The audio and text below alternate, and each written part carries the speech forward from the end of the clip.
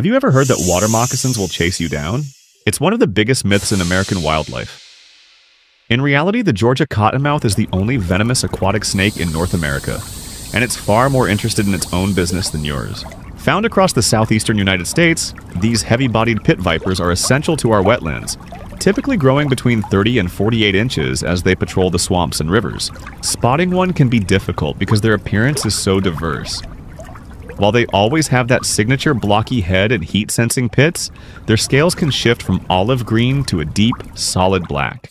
Because juveniles have bold, bright bands that vanish as they mature, they are constantly mistaken for harmless water snakes.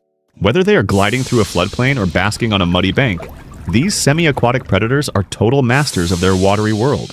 The cottonmouth nickname actually comes from a unique warning sign. When they feel cornered, they coil up and gape their mouths to show a snowy white interior. Despite their fierce reputation, they aren't naturally aggressive and will almost always retreat if you give them a path.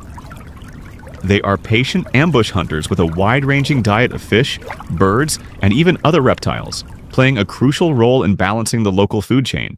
Across the United States, their hemotoxic venom is serious, but with modern medical care, fatalities are incredibly rare.